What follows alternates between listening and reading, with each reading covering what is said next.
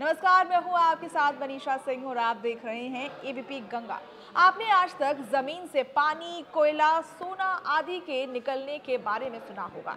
लेकिन झांसी के मौरानीपुर इलाके में हैंडपंप से पानी नहीं, जो निकल रहा था, उसे देखकर आपके पैरों तले ज़मीन खिसक जाएगी।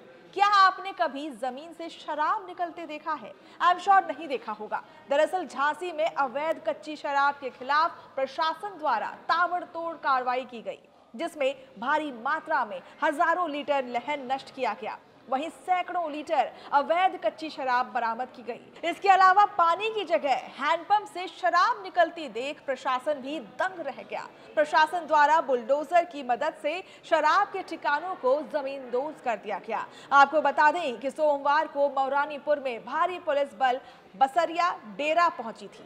जहाँ बुलडोजर की मदद से अवैध कच्ची शराब बनाने के उपकरणों को नष्ट किया गया। वहीं शराब बनाने की भट्टियों को जमींदोज किया गया। इसके साथ ही हज़ारों लीटर लहन मौके पर नष्ट किए गए। इसके बाद शराब के डेरा पर शराब की नदियाँ बहती नज़र आई। अवैध कच्ची शराब बनाने वालों में हड़कंप मच गया और मौके पर शराब बनाने वाले भाग निकले।